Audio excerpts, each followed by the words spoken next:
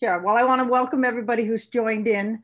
Uh, we had discussions amongst multiple of the uh, chairs for the uh, IARPC teams, and the issue of food security crosses over to the ones that, particularly the ones that are sponsoring this. Uh, will be a series of uh, webinars: the marine ecosystem, the health and well-being, and the coastal resilience, and particularly related to um, uh, environmental issues, uh, food security issues in, in the Pacific Arctic, but also has relevancy to uh, Pan-Arctic discussions. So with that, um, there will be uh, future ones led by the other uh, team members. And I think the next one is probably in January, but we'll bring that up at the end. So I'll go briefly through this. We have a packed agenda. I wanted to talk about the, uh, the status of some of the updates of, from the Distributed Biological Observatory in relation to this topic. Um, just a few points. We all know that there's a reduction of sea ice in the warming uh, waters, and we've been seeing this with the cruises that have been able to go out in 2020.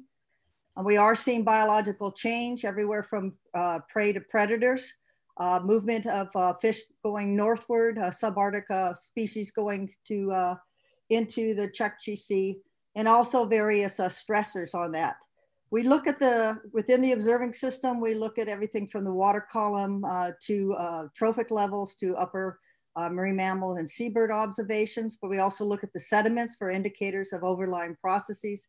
And I'm just gonna mention two of the uh, cruises as they relate to uh, this topic of food security and just point out that there all have been a few other of our international colleagues that will be able to present at future webinars. So most of you know what the DBO is. It's a change detection array, array that we have from the northern uh, Pacific, uh, northern part of the northern Bering Sea into the Beaufort Sea. And the ones I'm going to speak about today are the uh, DBO 1 through 5 from uh, south of St. Lawrence Island up to Utqiagvik off uh, in Barrow Canyon area. It does extend into, and we have Canadian colleagues and US colleagues working up in this northern part. Um, to point out, due to COVID, we've had limited cruises, and I'm going to mention a few of those, those aspects uh, during the talk.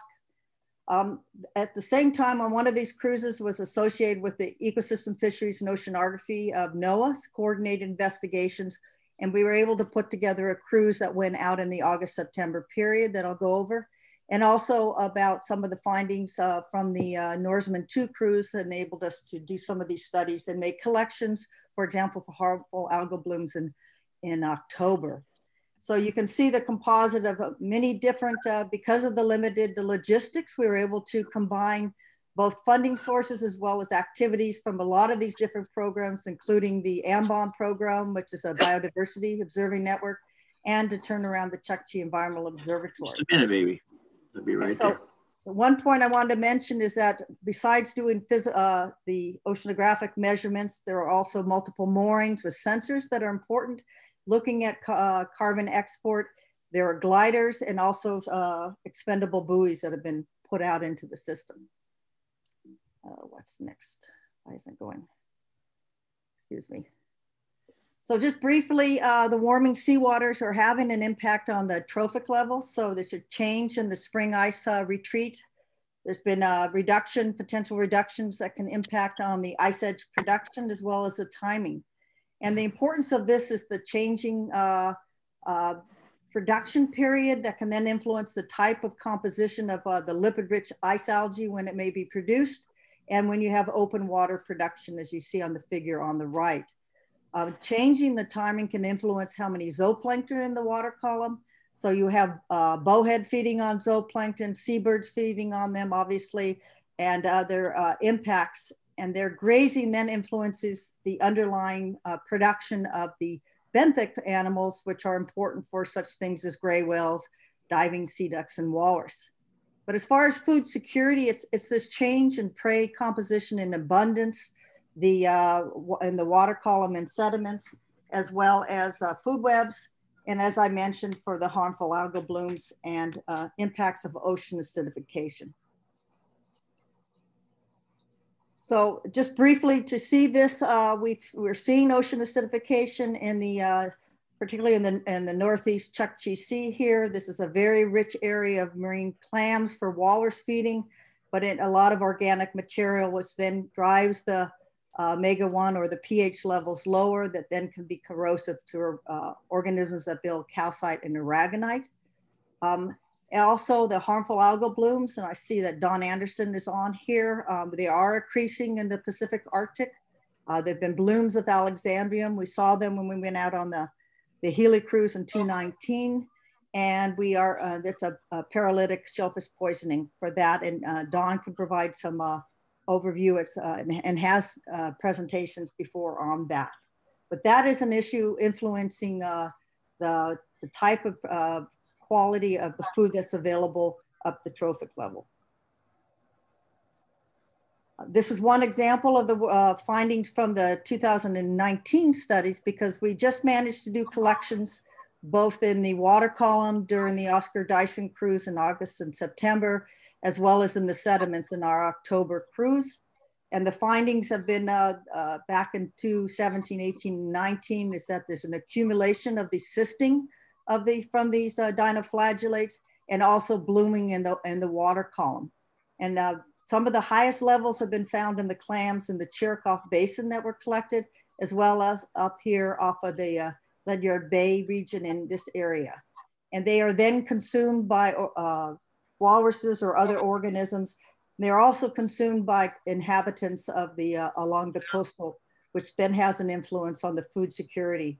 These two red areas that you're seeing here are the seafood safety regulation of saxitoxin, were higher than the, uh, uh, there are very high levels in those clams. So we're very interested in the data collection and having it processed this year.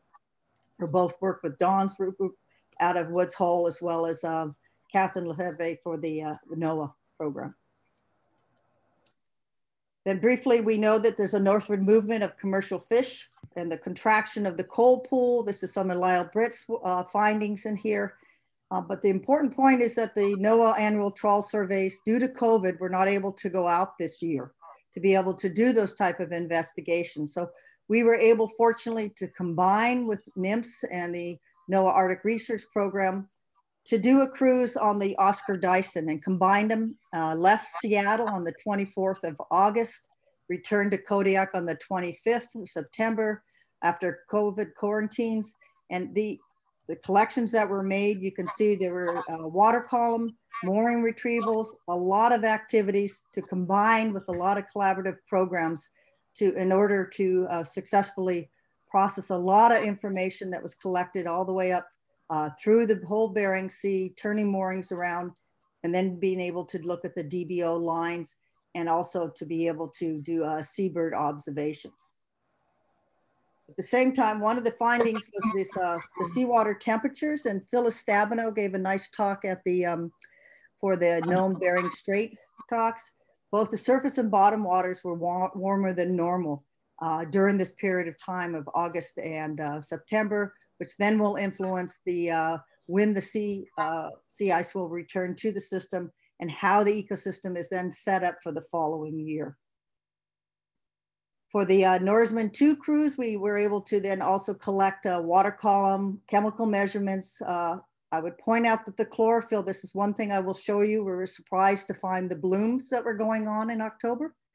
We also had zooplankton, benthic. So this is the prey base for a lot of the uh, uh marine mammals. The migrations were coming south. Uh, we had the bowheads in this area, but we still had gray whales, uh, humpback whales, uh, in the southern Chukchi Sea, diving sea ducks, marine birds transiting this region. So we were able to do those collections, a lot of them, including uh, collecting for uh, sediments and uh, dominant animals for the harmful algal blooms. And just briefly, summary on this is that you're going, I would just point out the warmer water we have coming from the south up to the north, um, cold sailing water on the bottom, but this is the point that we were most surprised because we were actually doing the analysis on the um, on the ship was that we were getting uh, blooms, moderate level blooms, some of them matching what we had in certain regions of the uh, in July and August. And this occurred both in the southeast and the northeast Chukchi Sea. And at the same time while this was going on, I would point out re related to uh, food security is the uh, activities that go on with the human use of longline fishing was going on the, in the Chirikov Basin and we had a large cargo ship passing through Bering Strait during this time.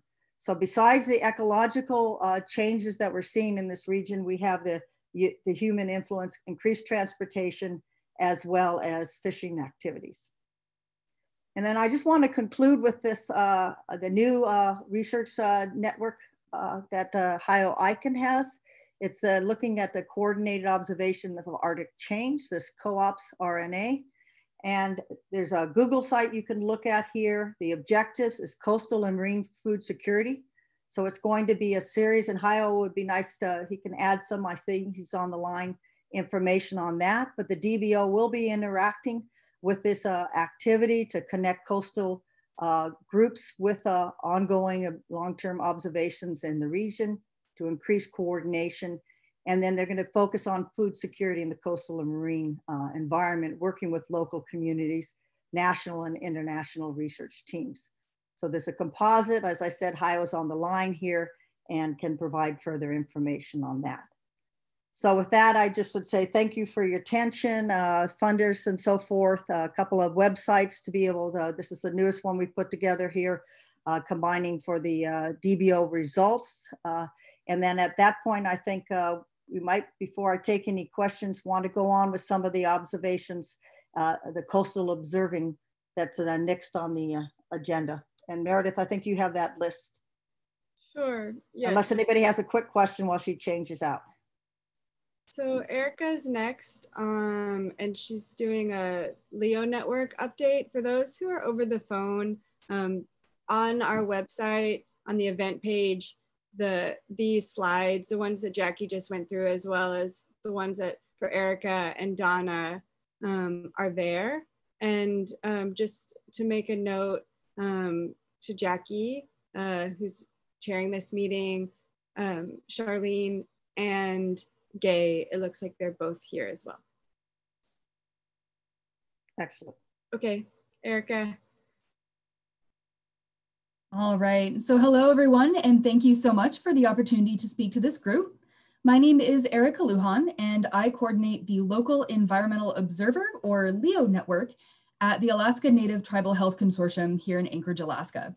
Um, so we are the statewide arm of the tribal health system here in the state, and we provide a range of medical, community health, engineering, and environmental health services. Um, so, you know, throughout our work, we definitely hear and understand that the environment is rapidly changing. And in 2012, we launched the LEO network as a tool for observers to document these changes they're experiencing. Um, so there's four primary steps to our process. Um, we ask people to submit an observation of unusual environmental events. Um, the LEO editors uh, will add any sort of contextual information and forward the observation to someone who can provide more information. Uh, we send that back to the observer and then publish it to our website at leonetwork.org. So we have 72 observations of changes to the environment that observers have identified as impacting food security in Alaska. Um, so these cover a really wide range of events, as you can probably see in the examples here, um, which describe changes in berry abundance, changes in water levels affecting fishing, uh, and erosion reshaping an important hunting lookout. So the majority of the observed changes to the natural environment that affect food security are related to fish, uh, changes to the ocean, changes to ice, ice and snow, uh, but also weather. Um, we do know, though, that many of the observations uh, describing changes to fish and marine mammals um, were related to the die-off events last summer. So that's part of what's driving those numbers. Uh, but we also ask observers to categorize the type of event that they're seeing, which affects food security. Um, so we're primarily seeing changes in seasonal timing, um, instances of deformity, disease, or injury, death, die-off, or decline, or extreme temperatures, among others. Um, so I mentioned that we received uh, observations about um, salmon die-offs and marine mammal die-offs. Uh, last year, we received 11 observations of pre-spawn salmon who died in unusually warm weather or who died when river levels became uh, too low or dried up completely. We also received nine observations of dead or dying sea mammals uh, last summer, some of which coincided um, with seabird die-offs and die-offs uh, in krill. Um, but some of the other fish observations that we've received this year also relate to low water, um, as is the case in the observations from Elim and Nome, um, but also relate to other unidentified environmental stressors that killed tomcod near Teller um, and resulted in dead and malformed eggs uh, found in a silver salmon caught in Quinhagak, um, where they also experienced low water. Um, but we're also hearing how changes in sea ice are affecting sea mammal hunts. Um, so in her observation from Kivalina shown here, um, Janet describes how families are traveling farther than usual um, and how the ability of some families to, to mm-hmm. travel is really dependent on the size of their boats. Um, so in Wales, uh, Robert also mentions the importance of predictable sea ice conditions for the spring sea mammal hunt, um, and his comment comes after Wales lost, lost their shore fast ice unusually early in the season. Uh, changes in seasonal timing of weather is also affecting food preservation methods. Um, so in another observation from Janet in Kivalina, she describes how they are hunting bearded seals earlier, but how unseasonable rain makes it difficult to properly dry the meat. So this is a photo here of her actually drying meat in her home to protect it from the rain. Uh, this year, we also heard um, similar observations from uh, Rosemary in Nuiqsut, um, who described the impact of cloudy weather and of smoke in the air um, as they were trying to dry their fish. Uh, a lot of their uh, whitefish became moldy. Um, and we also heard from Carol in Golovin about um, how people were afraid to eat fish that they had dried in unusually warm summer weather. Uh, but to end on a rather pleasant note, we also heard about um, warm temperatures in the interior coinciding with early ripe blueberries. So that's at least something that we can all look forward to. Uh, we definitely encourage everyone to join the LEO network and explore these observations more fully. Um, so using the advanced search tool on our homepage, you can filter the content to show the observations related to food security um, or any of the other filters uh, seen there. So I do apologize, I have to leave this meeting a little bit early, um, but I am looking forward to revisiting the conversation and definitely invite anyone uh, to email or call me directly with any questions. So thank you so much. Thank you, Erica. Maybe since you're going to be leaving, do you have, maybe if people have a question or two, they can ask you now? Sure, absolutely. And if not, we can put it into the chat and we'll email it to you. That sounds fantastic. Thank you guys so much. Great. And so these observations, though, they're sitting on, they're on your website, right? So summaries of them every year? Yes, um, so all of our observations are available at leonetwork.org. Um, you do have to be a member to view the entire observation, um, but signing up is very easy. Um, and we definitely welcome um, anyone who is interested uh, and then invite you to, to comment on observations or otherwise share your expertise. All right. Well, thank you so much, Erica. Does anybody else have a question yet? If not, put it in the chat, please. Okay, thank you. Okay, so our, our next speaker, speaker is uh, AOKH, the food security uh, with Donna Hauser. Great, okay. Just share here. Okay, uh, thank you. Good morning, everybody. Um, I'm Donna Hauser. I am research faculty at the International Arctic Research Center at UAF, and one of the one of the science hats that I lead is as the science lead for the Alaska Arctic Observatory and Knowledge Hub, which we refer to as AOK. So I'm going to really quickly run through some of our 2020 highlighting or observing highlights. Um, from our, so that the AOK program is a year-round sustained community-based observing program um, focusing on coastal areas from Kotzebue through Kaktovik. And Okay, so um, this is just kind of our, our only overview slide where I'm trying to give you a, a, sampling of how AOK represents a really diverse set of observations as well as observing protocols um, so you can kind of just see the, the overview in this diagram. But um, today I'm gonna focus on the cornerstone of our project, which is really the local observations um, provided by Inupiaq observers. Um, and again, they're providing these really holistic year-round community-based observations. Um, and so ultimately, I kind of consider the whole suite of our observing efforts to in some way be related back to food security. Um, and um, because we had observations in throughout 2020 from seven observers in five communities spanning across 1500 kilometers of the Alaska Arctic coastline, um, I actually found it really hard to summarize all of the sort of themes and trends out of this really rich and diverse um, set of observations, um, uh, just in a matter of five minutes here, but so we're gonna go through this really quickly. Um, so spring 2020, I think was generally recognized by many of our communities as, a, as more typical of past years, although we still had observations um, suggesting that the landfast ice was relatively thin um, compared to historical standards by many of our observers. Um, certainly in comparison to the spring of 2019, it was, it was better ice. Um, and this translated into successful marine mammal harvests for many of our communities. So this is an observation from Guy Omnick in Point Hope, um, expressing what an awesome past few days they had um, when they did their first harvest of a bowhead whale in on, on April 22nd. Um, he was the harpooner on that crew. And, um, and then later, another observation um, on May 2nd um, indicated that they were really having a successful um, harvesting season. They actually caught 12 whales, um, including transferred strikes from another community. Um, Utqiagvik also in particular had a very successful spring whaling season.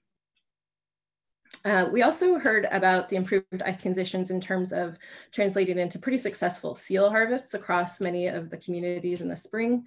Um, in particular, ugruk or bearded seal were among the most important marine um, harvests for Kotzebue.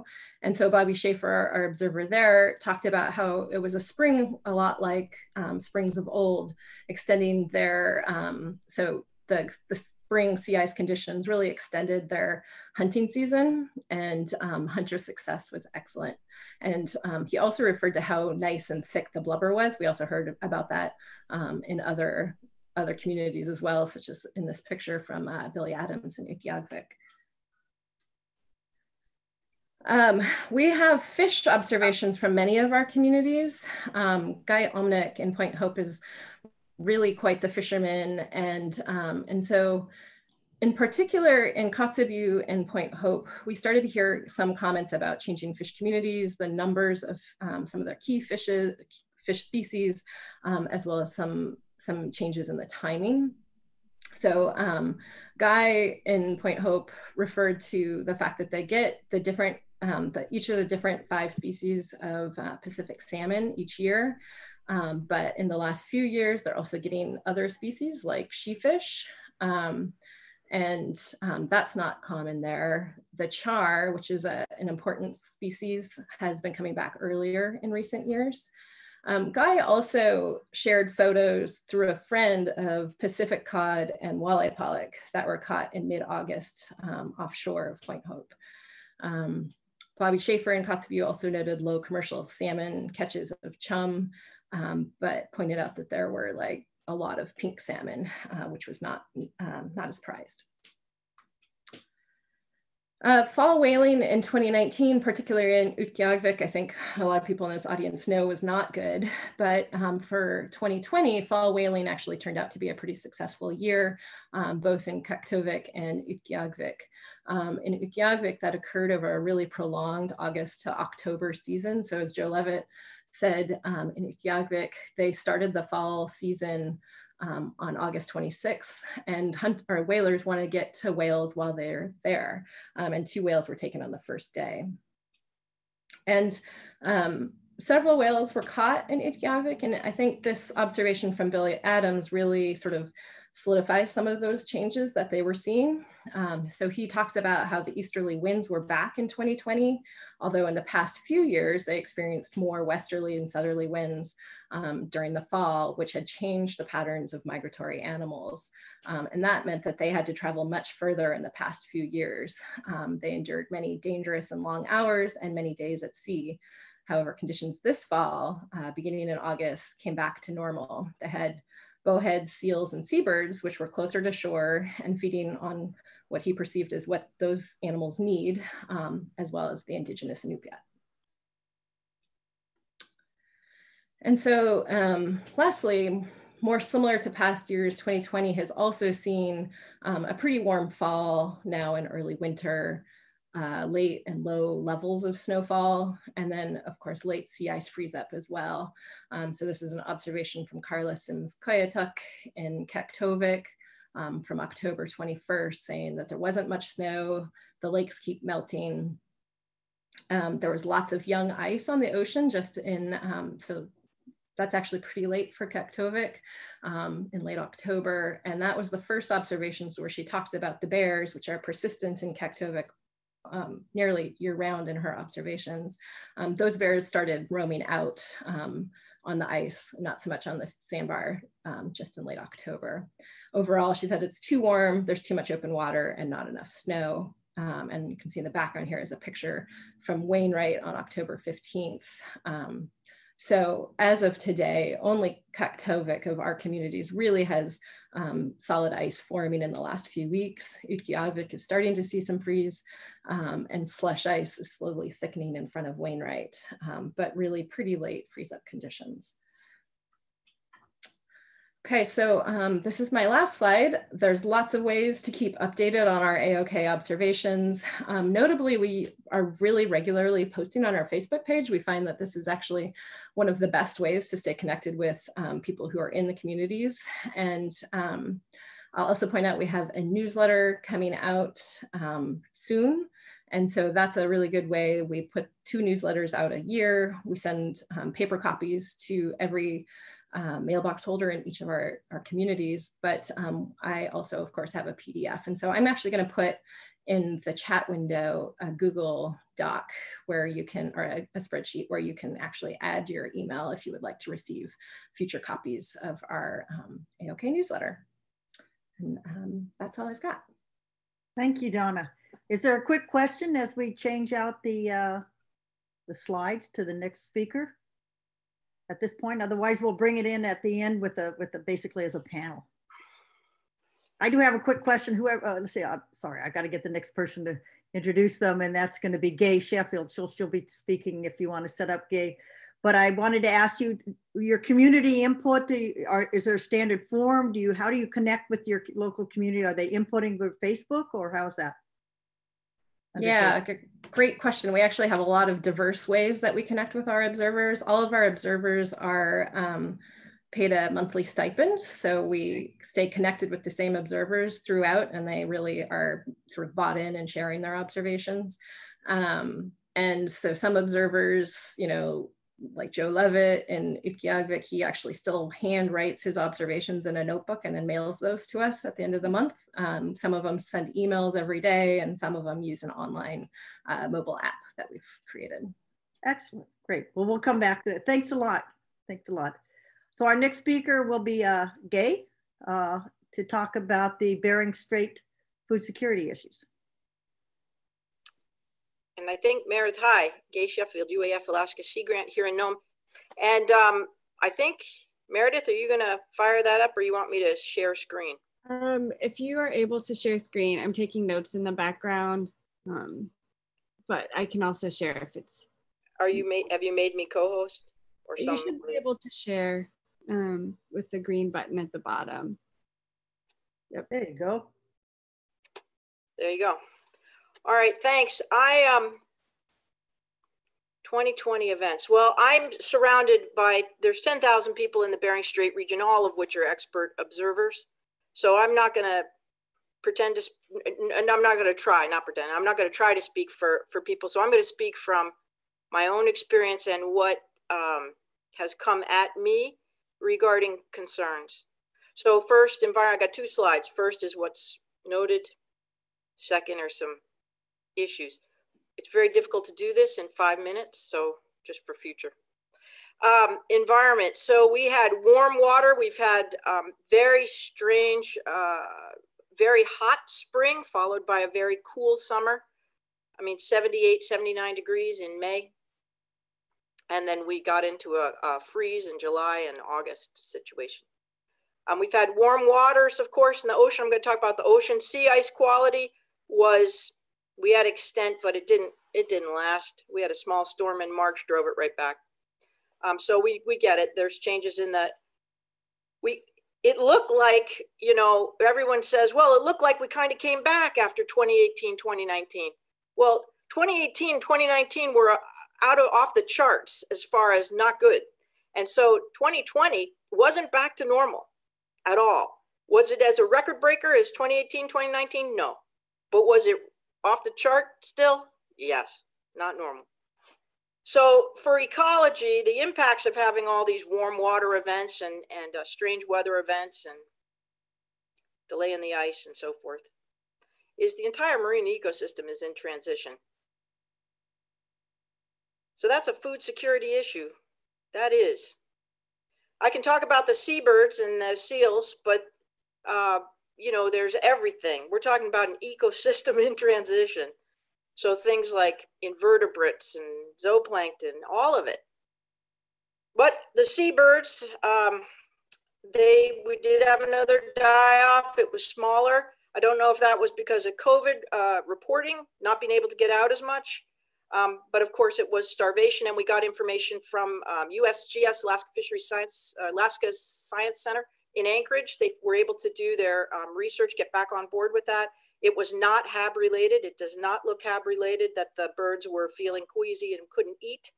Um, and it is not disease. Thank you, USGS National Wildlife Health Center.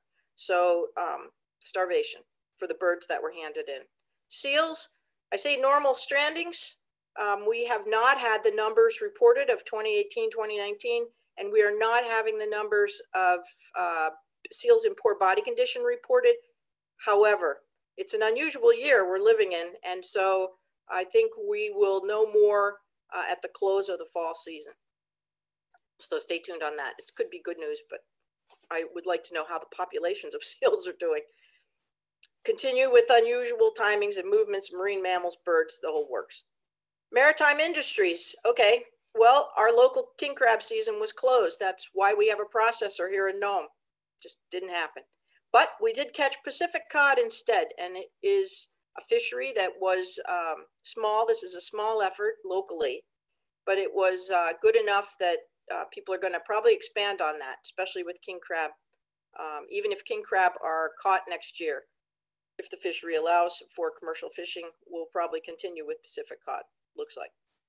Maritime industries, industrial ship traffic. Jackie touched on that. We have industrial ship traffic. The Yamal LNG um, project, that's a $27 billion project in Sabetta, Russia, now has 15 900 foot ice capable to two and a half meters unassisted LNG tankers. And they're running them uh, all summer. We had certain days where we would have three 900 foot tankers transiting uh, the Bering Strait in the strait, along with whatever other ship traffic, research, uh, commercial fishery, uh, container, tug, tanker, you name it. Uh, much more than we've seen.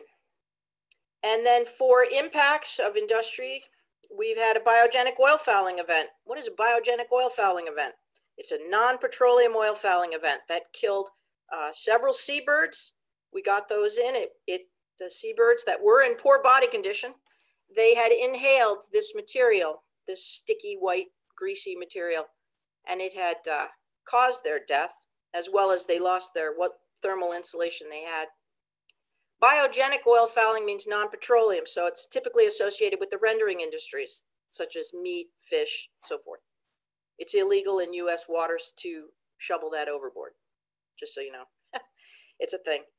And um, foreign marine debris, I'm sure you are all well aware, starting in July and as late as last night, getting reports from uh, marine debris, plastics, a lot of things associated with the commercial fishing industry, consumables, um, men's toiletries, lots of men's toiletries actually, shampoo, um, deodorant, so forth, and hazmats, toilet bowl cleaner, aerosol cans of spray paint, still with the spray in them, um, aerosol cans of insecticide for roach uh, killing, chemicals, things like that. And of course, uh, military, we haven't seen the, the military impacts. Everyone seems aware of the Pollock uh, and uh, Russian naval um, misunderstanding, lack of communication in the southern Bering Sea. But those missile fire and the 50 ships involved in that drill and the two uh, submarines, that was 60 miles west of Gambell. 50 ships. And here you go. You want food security issues? We have a bunch. In the marine environment, it's all about the ice. It's changing the habitat, right? The entire thing is in transition. The storms are getting stronger. We just had two storms, not that, not a super storm, but did a super amount of erosion in the area uh, because we're being hit now from southerly storms sustained. And uh, it, it did intensify. It was a 956 millibar low. That's pretty low. We didn't get super high winds, but we had um, a lot of wave action out of the southwest. The weather was mentioned earlier. We have changes in the weather. So we're having uh, floods or we're having a drought like we had this summer. And that is affecting things like output into the marine environment, like salmon, salmon survival, salmon production, and other things. Um, the one thing that would be great to know that all of these are high food security issues in the Bering Strait region, not just marine mammals, not just seabirds, tunicate, invertebrates, uh, zoopl- all of it, shrimp, all of it. How is the, what's the productivity, the disease, the harmful algal blooms, the contaminants, the invasives right now? How are these affecting all of it? Are the resources healthy? That is a food security concern throughout the region. Are the resources healthy? To eat are they healthy to to continue on? Decision uh, for for under um, i guess i better go to uh, industry. I'll just i won't go through them but you can see from having large industrial ship traffic these are known. These are things that are are uh, really big issues and concerns the noise having just physically large vessels, what does that mean for the bowhead whale, the humpback whale, the North Pacific right whale that's in the corridor of the Northern Bering Sea, much less all the seals, walrus, so forth, people. Um, pollution. And then, of course, industrial gear, we are seeing both our US fleet, uh, large, this is the large fleet for Pacific cod, and also on the Russian side, the pollock trawling and the Pacific cod coming up earlier, staying longer, and so forth. And now the Russians had their first, I believe it was either a test fishery or a real fishery of pollock. They went up trawling, commercial trawling in the southern Chukchi Sea this year. There's a lot of things they might bump into. Um, and then one of the things that really doesn't go under much is that disregard of existing rules. So we have rules in place internationally regarding plastics and and uh, hazmat dumping overboard and things like that. But uh, you know, who enforces this stuff? What what is the what do we do about people who just disregard some rules? We don't know in the Bering Strait. We're learning all this real quick. So I guess other food security issues that that deal with decision makers and planners is the lack of regional and local representation at decision making and planning. Um, and that then the result of that is like you have five minutes to, to hear from me. I can't you know so there's a comprehensive awareness going on in the bering strait region. Everyone here is really comprehensively aware at the ecosystem level and what's going on. We may not understand all that's coming our way but um, but certainly we're dealing with what we deal with in a big holistic ecosystem kind of way. And so only getting uh, snapshots of or little vignettes makes it probably difficult for decision makers to be able to do the best that they, they can uh, if they're urban based. Um, is science ready to respond to a marine ecosystem in transition? And then that goes into search, and, search and rescue ready to respond for these big issues about industrial traffic in a confined transboundary narrow waterway. International comms, I'd love to know what the next steps are. I'd love for this region to be a part of the next steps of what that is. I don't know what it means when we have transboundary shared marine resources in a in a time of transition and we're not communicating. We need to communicate. and we kind of see what happens when we don't. the, the military action and the pollock fishy, you know, everybody actually did what they were supposed to do, but nobody had communicated. And so I'm sure we all know, you know, lack of communication and so forth, things can happen. Um, and they get exciting. And then you got to spend a lot of time calming them down and then you move forward. And then objectives for regional comps. So we get a lot now on regional communications, and I think that's awesome. We get a lot of interest in regional communications, and I'm I'm so excited about that. What would be really great is to understand clearly what are the objectives of people uh, wanting to communicate with the region or, or taking communications uh, out of the region, that sort of thing. All right. Thank you. I bet you that was over five minutes. That's okay, Gay. Thanks, right. thanks a lot. And I think as we transition, if anybody has a question, but there's a, this is just the beginning of a series. So I think there'll be some more focal times to take up some of these points at, at, at uh, additional webinars. But thank you very much. If anybody has a question for Gay right now, if you, if you decouple your screen and we'll let, uh, uh, who's coming up? Lauren connect up. Does anybody have a question for Gay? Otherwise, put it in the chat. Put it in the chat. Put it in the chat. All right, great, thanks.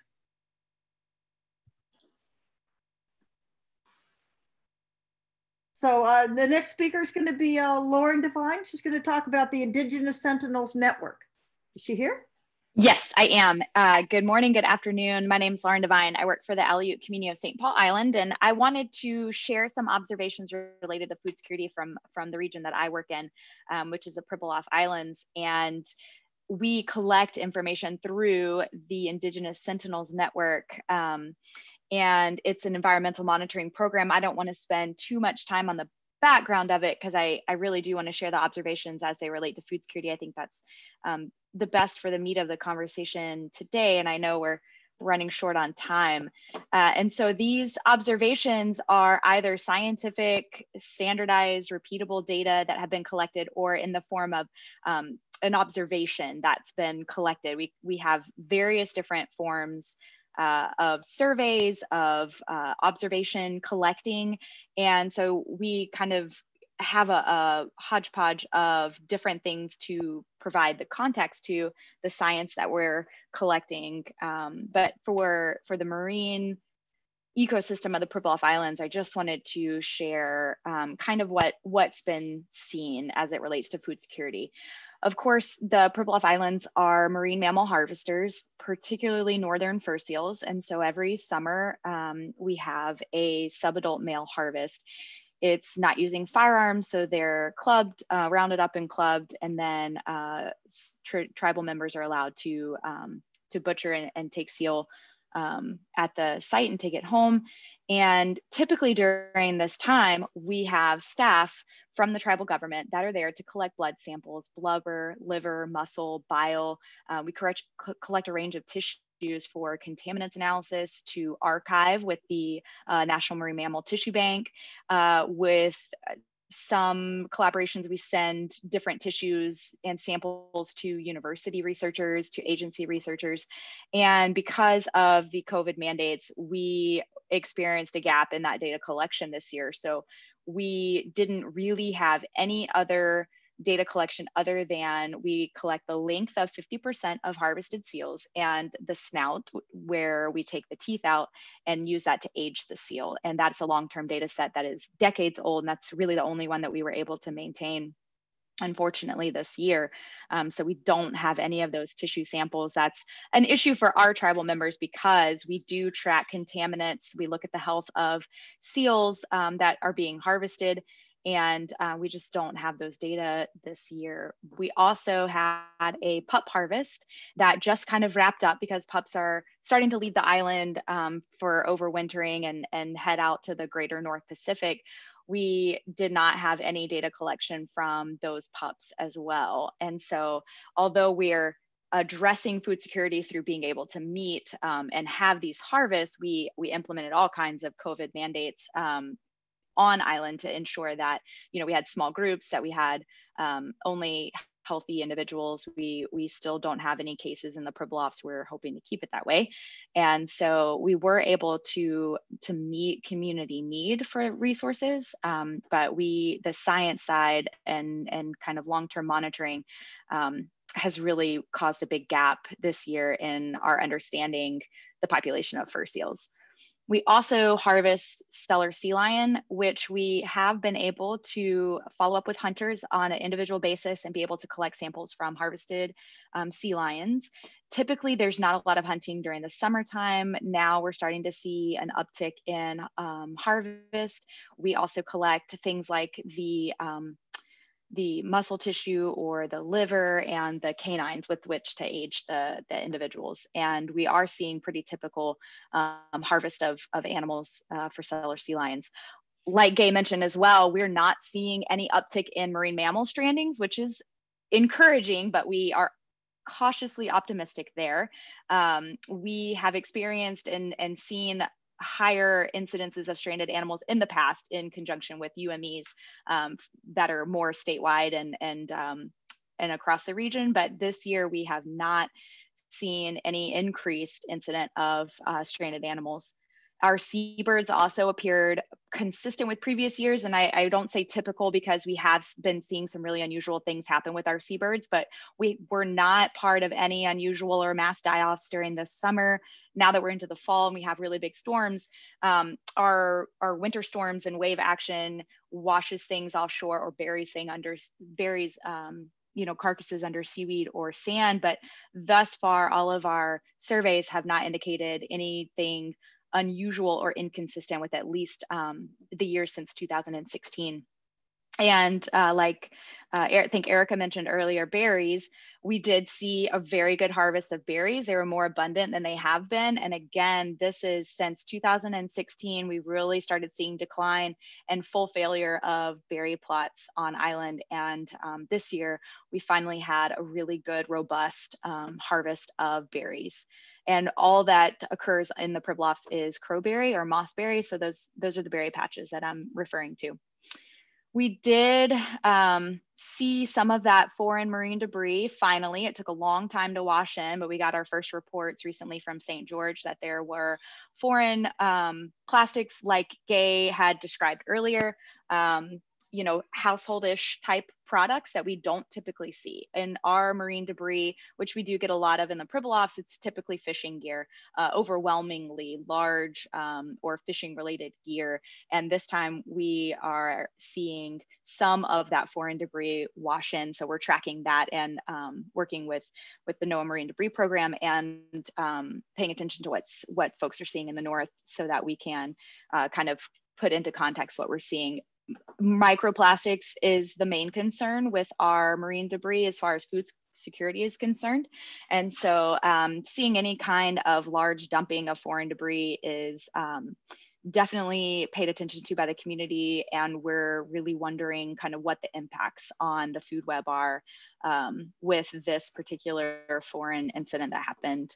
Um, for harmful algal blooms, we do track harmful algal blooms. We've seen detected uh, toxin in our environment and, and, seabirds that have been tested in the past as part of um, large mass die-offs in recent years. Um, this year, we started testing limpets um, from the nearshore environment because that's what our tribal members are consuming. And we did detect um, saxitoxin, but not above any type of commercial limits. Um, we are super interested in conversations about the methods of testing and how to get at and address human health concerns with harmful algal bloom tests, uh, what you're testing, how you're testing it, time frames. Um, that's a huge priority for our uh, tribal members. And um, really, I think that's the biggest thing. Our temperature and salinities have been increasing steadily in the last, you know, however many years, along with every other community. So those concerns certainly are um, at the top of tribal member concerns for, for food security and just how these ecosystem level changes and this shift that we've heard uh, others talk about in this you know webinar and, and every other conversation that we've been a part of um, how this is impacting the future of our ability to um, you know, enable food security and, and access to resources on, on our islands. And so I think that's all I wanted to mention and I'll, I'll hopefully saved a little bit of time for questions. All right, Lauren, thank you so much. And uh, as we de-share on this, uh, before we go on to uh, Charlene, if there's a question for Lauren, happy to take it, or we can put it in the chat box and talk, speak about it at the end. Okay, Lauren, we're gonna come back. Uh, okay. Um, the, our final speaker is gonna be Charlene Apok. She's in health research and she's going to be speaking of uh, food security issues. And I would just mention when we open a discussion, it's open to everybody it, it, that's joining in here, local community members, uh, whoever. So Charlene, you're up. Hi, thank, thank hi, thank you for having me. Um, Uvanga Charlene Apok, Anupaxiska Akpik, Chinik Mu Gurunga, Suli Nachirvik Mu Gurunga. Uh, my name is Charlene Apok and my Iñupiaq name is Akpik. My family is from Golovin and White Mountain. So I appreciate seeing familiar faces to our region and um, hearing those sharebacks. And I know we have such limited time, um, but I wanted to, when given the opportunity to share about food security in this meeting, I wanted to um, link together some of the ways that COVID has had impacts and the immediate um, things that communities are facing in regards to food security. And I don't have slides for such a short presentation, um, but I just wanted to move through some of the, the things that I've personally observed as a community member. Um, although I reside on Dena'ina lands here in Anchorage, I'm closely connected to my home community in the Bering Straits.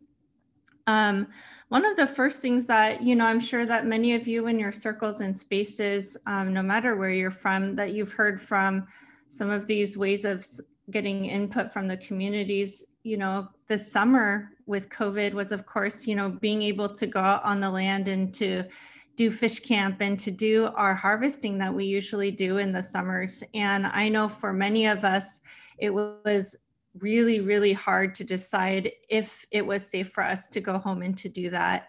Um, was it safe for our communities, you know, especially coming from an urban center, if we were going to, you know, risk bringing COVID from somewhere like Anchorage to our regions.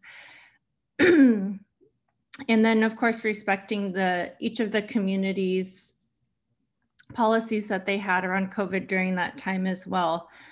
Um, and for me, I know some of the things that I was weighing was I have a five year old son, and this is a really important time for him to connect back home. It's an important time that he's taught by our aunts and our uncles, and it's important time with family. And, um, you know, I ultimately did choose to go home with the support and encouraging of my family back home. They made sure that we followed strict um, testing and quarantining and things like that. Um, you know, and but it was it was incredible. I changed my mind every day if I was going to do it or not. Um, and then you know some of the impacts at the at the state level, of course, is that um, regarding COVID and food security, we immediately saw the way that our systems are built with planes and ferries and shipments going out to rural communities for store and food bought store bought foods, um, that those were cut off and we immediately had, we were facing food insecurity within a week. And it's just, and part of the reason that that is an exasperated experience is because we have so many regulations and um, being able to fully depend and um, subsist off of our way of life is is still you know another threat to our food security and so I just want to highlight some of those structures um, that we really have to think about in this conversation of food security and that COVID has really made very apparent. Um, and, you know, even and then to the state level, right, across communities, there's many events such as subsistence and um, summer gathering, fish camps, um, that have have changed. I, I was able to go home for fish camp but i couldn't go for moose hunting you know like it, and we're weighing that all across the state.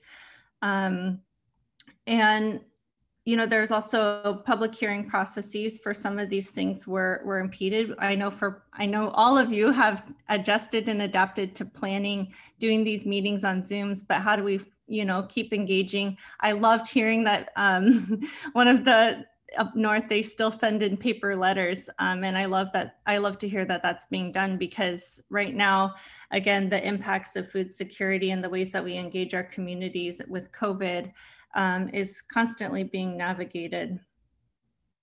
And then finally um, you know and then across the state you know the ways that we share our food so gatherings such as Nalukataq um, I know I go to Nalukataq every year, and I also wasn't able to do that um, and you know, for families who couldn't go home for for fish camp, not every family is able to do the expenses of GoldStreak and sending muktuk or sending um, dry fish or fish back home. You know, and so our food sharing system was greatly impacted too and continues to be even with caribou hunting going on right now you know just the, our ability to to be and to share with one another across the state and the, the way that we distribute our harvests um, i think has been has been really visible as well.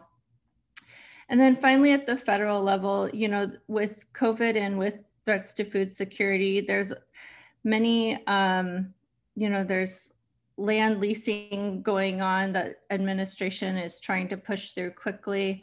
Um, and the ways that our things like the Willow Project or the, the refuge, those things are direct threats to our food security and what we've defined, self-defined um, as necessary to our well-being. And so the impacts, you know, I, I appreciate all of these presentations and um, Gay, you know, trying to sum it in five minutes is nearly impossible, um, but definitely, you know, mental health and the ways that we connect and the ways that we share and the ways that we're connected to our culture, the land and these practices, um, our spiritual practices. And so um, there's so many impacts from that from the crossing of COVID and food security that I'm observing throughout our communities. And, um, you know, one of the the biggest, you know, we're navigating these contradictions. Um, and one of, I think, one of the ways that we can most certainly ensure continued access and food sovereignty is, of course, their self determination and allowing our communities to define what's going to work in their adaptation. So that's my my five minute um, reflections on COVID and our impacts of health and well-being um, with food security. And yeah, thank you for allowing me this space and sorry to rush through, but I appreciated listening to everyone else as well. I don't want thank to go. You, yeah, Charlene, thank you so much. And don't run away because we're actually going to keep the line open for open discussions for Charlene. And if there are any other uh, uh, local community observations that like people would like to to bring forward. We're kind of moving into the open discussion section now. First, I'll ask, does anybody have a question for Charlene specifically before we open the panel? I don't see anything yet. Charlene, have you looked at um, some of these discussions and how community interactions are um, acting? Are we having any statistical analysis?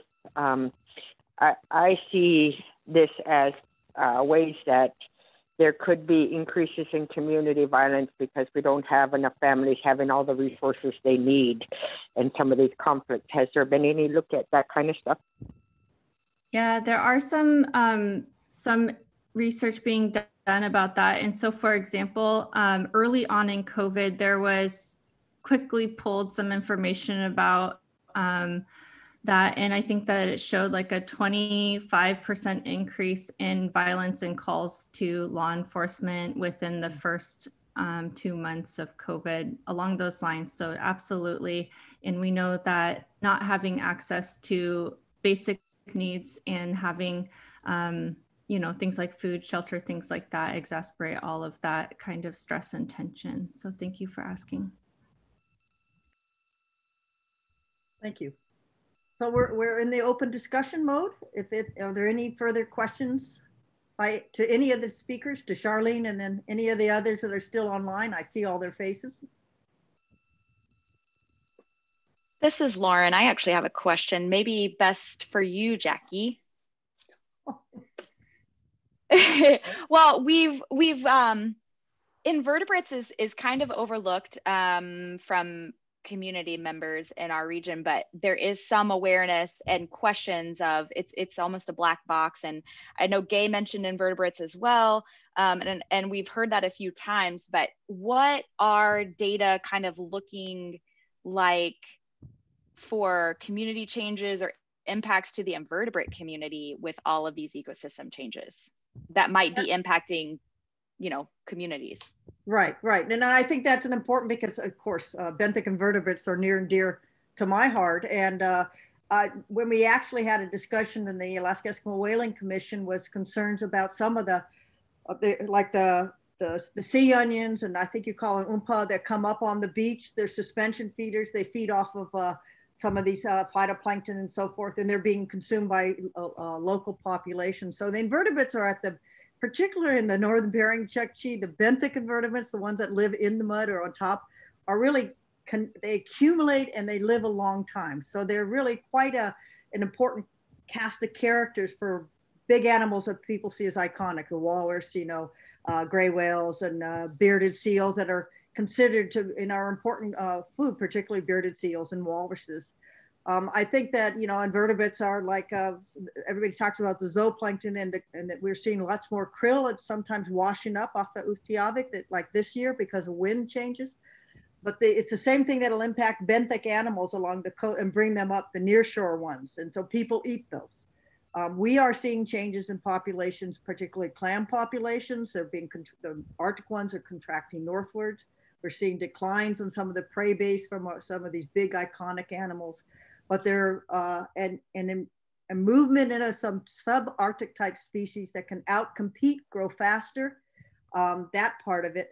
The other thing is that without the sea ice and the, the one thing about the Arctic, you like to grow them fat. Lipids are an important part of this, and lipids tend to also accumulate contaminants. So the, the benthic invertebrate uh, food web is an important, particularly in the the northern Bering Chukchi areas where it's such a shallow continental shelf.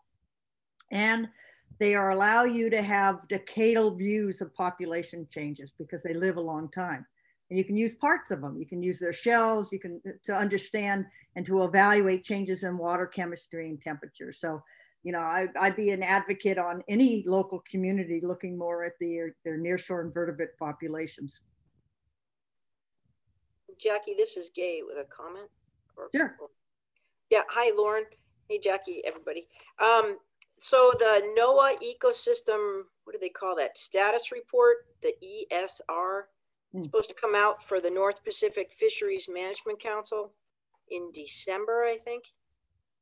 Anyway, that should have an overview for that that includes invertebrates. And and it, I know PRIBS is really different than Northern Bering Sea, but I think they try to um, cover it. And, you know, it's a hard year with no really little ship data. But I think the PRIBs are more positioned with, uh, um, you're in that kind of southern Bering Sea fisheries area. That's well instrumented, much better than up here, I think. And so, so you probably, there may be more for you there in that report as well. And it's kind of a, I think it's an overview. If hmm. it helps. Okay. Thanks, Kate. Yeah, and yeah, thanks, Kate. Actually, the, the reason that I asked is um, when we were contributing to the ESR, Ebett Siddon um, actually said, you know, invertebrates is one area that we know virtually nothing about. And so I was curious. Yeah. And, and that, I guess, especially this COVID year, my comment would be that so many people could have been calling the coast and and really this would have been a great I thought we'd be inundated with all these researchers calling and trying to reach out for communications because who better? I mean, people here all up and down the coast see and know every day when they're subsistence harvesting or commercial harvesting for that matter. If they're on the water outside, this would have been a great, um, COVID would have been a great, uh, I was hopeful that it might integrate people more into the value of the coast, you know, over not just one. Right, but I, I wouldn't give up on, on that, Gay, because I think that particularly we're in a long haul for this COVID, Yeah, you know? I think we are. We'd have a second shot at that apple. No, no, not, that's not a good thing, but what I'm saying, but it might instill people to be more integrative, you know, on, on coastal. Reach out. Reach out, that's right. And there's a little more in our time now than, you know, to, to put something in the field in the coastal community connection. So I think there's no better time than now starting in it. And I think there's community, uh, we've heard some of them today and some that are developing to be able to build on that. And I think it's, there's no better time than right now to start building, expanding on that. Any other questions that want to be brought forward? I know we're over time, but this is a great conversation, I think. This is Rosemary, and um, we've seen an increased utilization of hunters coming through the Dalton Highway into our area. Um, and it seems like there's a higher demand put onto our subsistence resources with many in the state. And this could be very concerning, especially in light of the um, past caribou counts that showed three herds in severe decline. Um, is that anything others are seeing?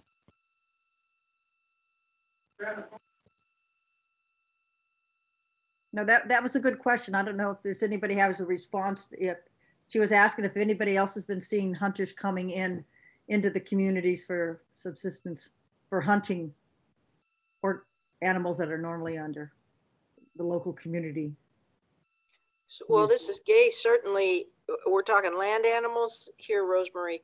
I would say certainly people, there were food security concerns and there was more pressure, I believe, on things like moose in our in the Nome area. We've got the a little bit of our road system and people can come in from it's easier for people from outside the road system to come. And I know our our hunt was maybe for moose was like less than 72 hours for the Nome the Nome district. Um, very quick season. Um, but that's a good question. That would be a good question for the fishing Game. They probably wouldn't be able to answer that. Thank you though for bringing that up. Good question. All right.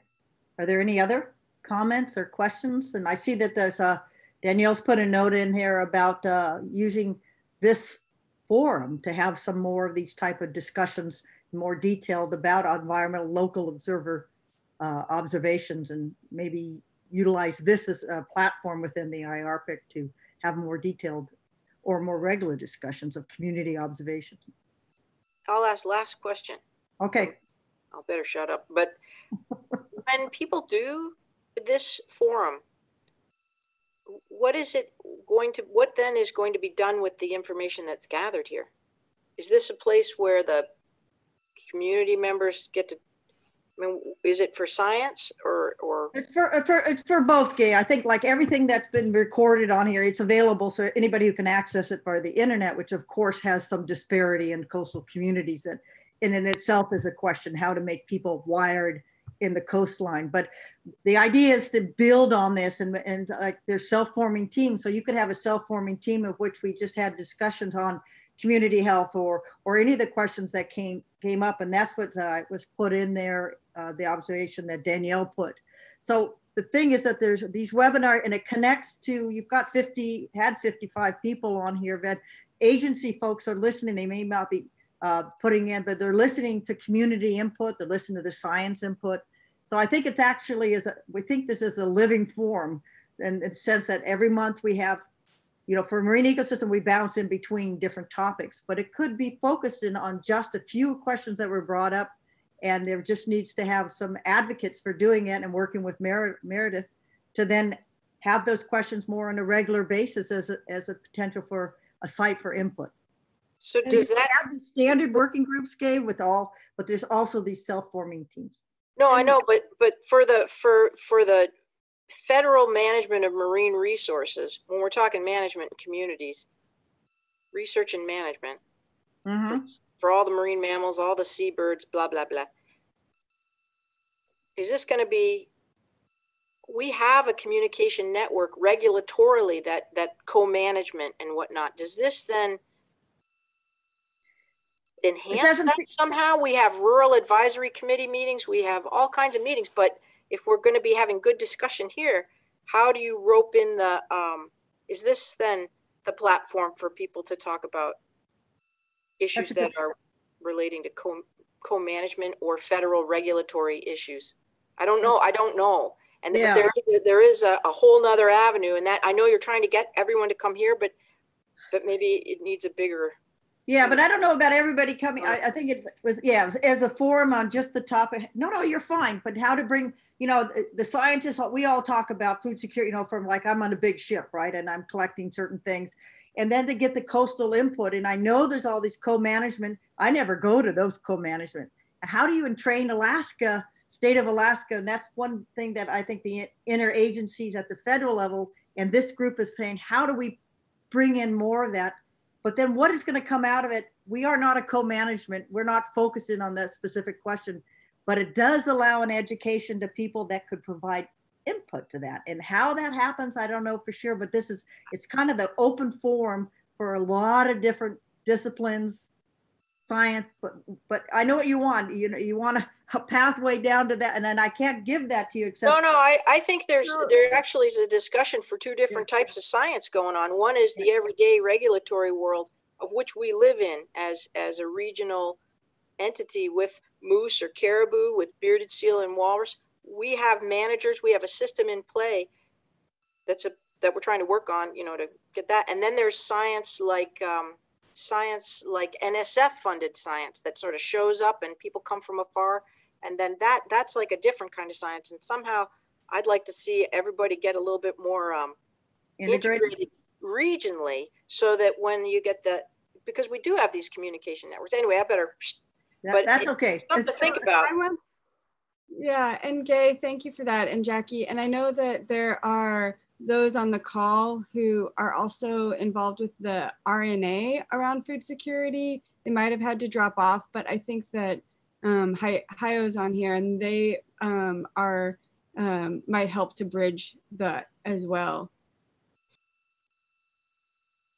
Another important topic for assessing in our food security is the increase in search and rescue missions that will likely occur.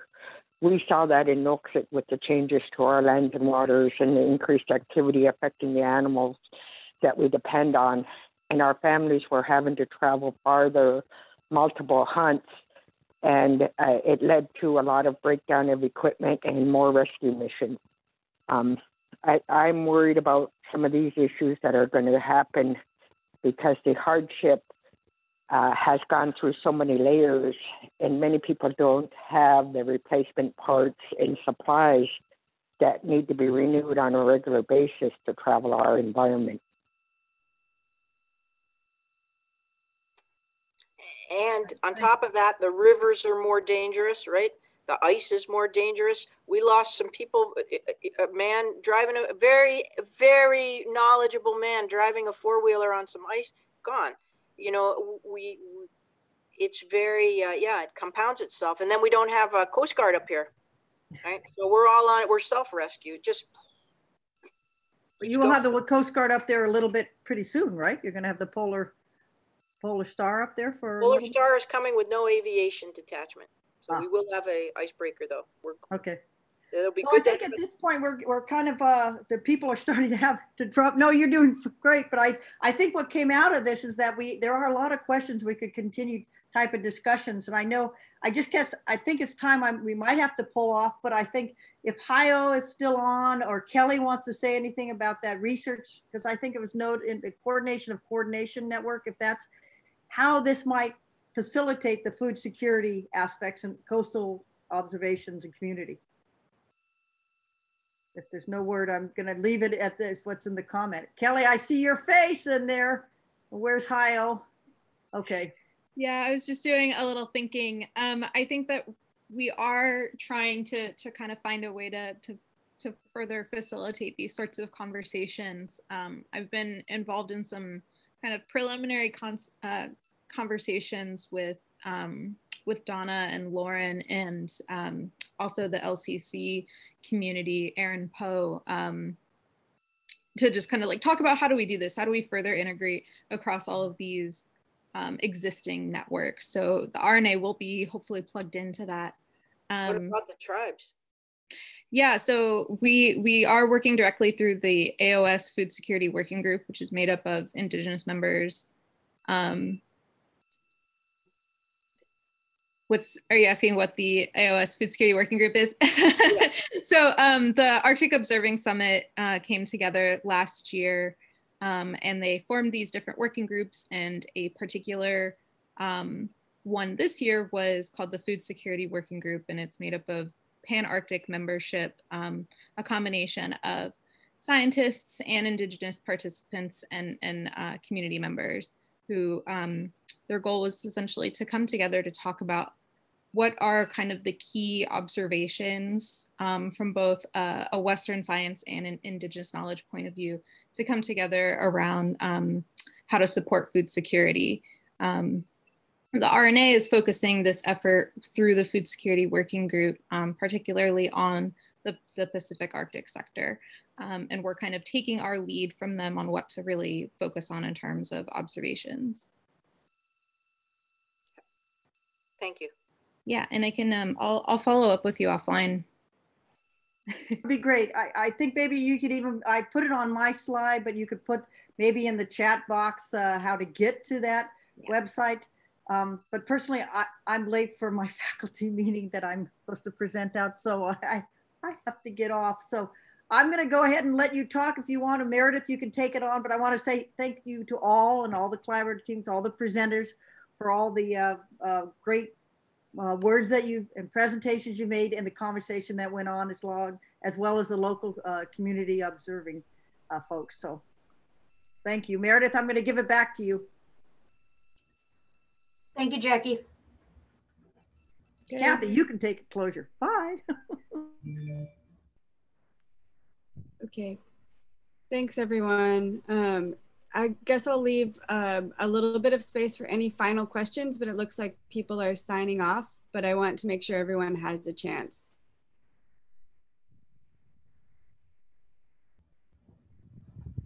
Okay, and um, I want to let everyone know that we don't have any solid plans for food security meetings, but we will be continuing this discussion and building out um, follow-up meetings with the observing team um, and connecting with the RNA um, that was mentioned here. So trying to integrate those pieces I think will be really important.